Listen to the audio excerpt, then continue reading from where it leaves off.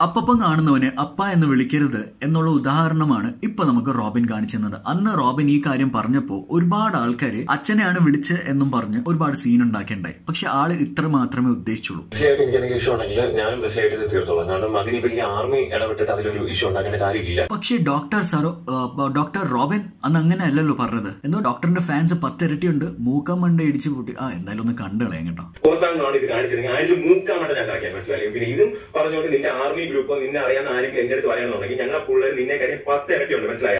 അപ്പോൾ ഇത്രയേ ഉള്ളൂ റോബിൻ ഉദ്ദേശിച്ച കാര്യം. അപ്പം കാണുന്നവനെ അപ്പ എന്ന് വിളിക്കരുത് അതായത് പലപ്പോഴും പല കാര്യങ്ങളും മാറ്റി മാറ്റി പറയരുതെന്ന്. അത്രേ അന്ന് ഉദ്ദേശിച്ചുള്ളൂ. റോബിൻ തന്നെയാണ് എല്ലാ ആർമികളെയും പ്രൊവോക്ക് ചെയ്തത്. രണ്ട് ആർമികളെയും പ്രൊവോക്ക് ചെയ്തത് റോബിൻ തന്നെയാണ്. ആൻഡ് ഇപ്പോൾ റോബിൻ തന്നെ പറയുന്നു ഇപ്പോൾ പ്രശ്നമായപ്പോൾ ആൾ ഇച്ചിരി മാറ്റി പറയുവാണ്. അതായത് നമ്മളുടെ പ്രശ്നം നമുക്ക് തീർക്കാൻ അറിയാം.